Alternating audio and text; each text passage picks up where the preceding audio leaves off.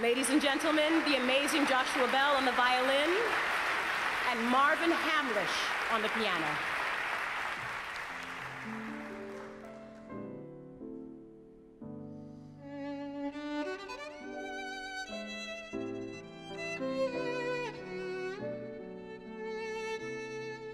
When Gene Weingarten came to me, he said he just was curious what would happen if an established concert artist who people paid a lot of money to go see the night before, if I just played in a in a in a the metro station,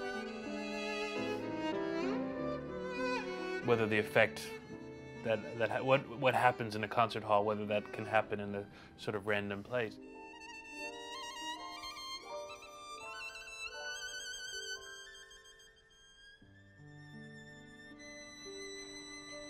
And as it turns out, it didn't really.